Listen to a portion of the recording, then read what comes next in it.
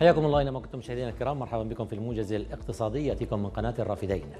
أعلنت وزارة التخطيط تسجيل ثلاثة ملايين وثلاثمائة ألف موظف حكومي في منصة الرقم الوظيفي. وقالت الوزارة إن تلك المنصة لا تمثل العدد النهائي لموظفي الدولة لكون العمل ما يزال جاريا لافتة إلى أنها ستسلم الإحصائية النهائية لجهات حكومية أخرى حال اكتماله. هذا وكانت اللجنة المالية النيابية قد اعترفت بوجود نحو 300 ألف موظف سمته بالفضائي فضلا عن آلاف ممن يستلمون أكثر من راتب.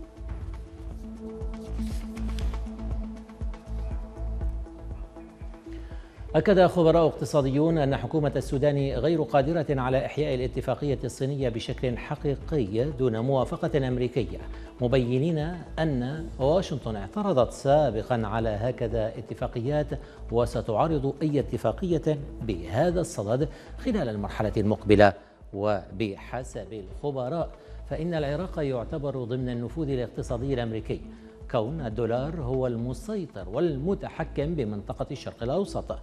وفي وقت سابق أصدر البنتاغون تقريرا حذر خلاله دول المنطقة ذاكرا العراق بالأخص حذرهم من التعامل مع الحكومة الصينية كما حذر حكومة بكين من مغبة استفزاز واشنطن في منطقة الشرق الأوسط.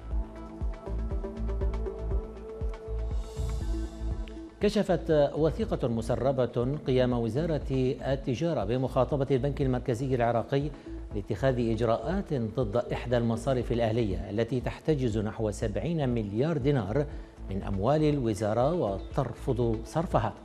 أظهرت الوثيقة المؤرخة في نيسان الماضي طلب الوزارة من البنك المركزي اتخاذ كافة الإجراءات القانونية ومن بينها تحويل المبلغ بالكامل من الحساب المفتوح في المصرف المتحد أو في المصرف المتحد للاستثمار والذي يرفض صرف أموال لوزارة التجارة من حسابها لأغراض تتعلق بنشاط صندوق دعم التصدير.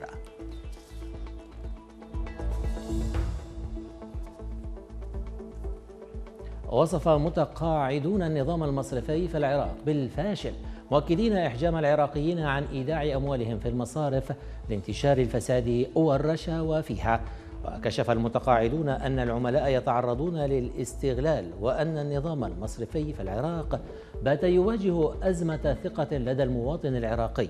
لتقلب الأوضاع السياسية والاقتصادية إضافة لعدم استقرار البلاد وانتشار الفساد مشيرين إلى أن قضية فقدان مليارين ونصف مليار دولار من أموال الأمانات الضريبية أو ما بات يعرف في سرقة القرن زادت من الشعور بعدم الثقة بالنظام المصرفي في البلاد.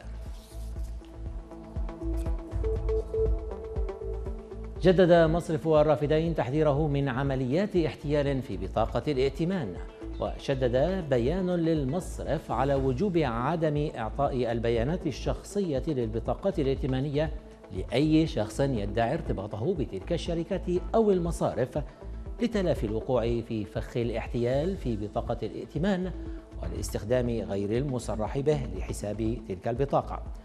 وكان المصرف قد كشف في وقت سابق عن أشخاص يدعون أنهم موظفون في المصرف يطلبون من العملاء كلمة سر بطاقاتهم عبر رسائل لسرقتها. والآن أترككم مشاهدينا الكرام مع أسعار في العملات الأجنبية وأسعار المعادن.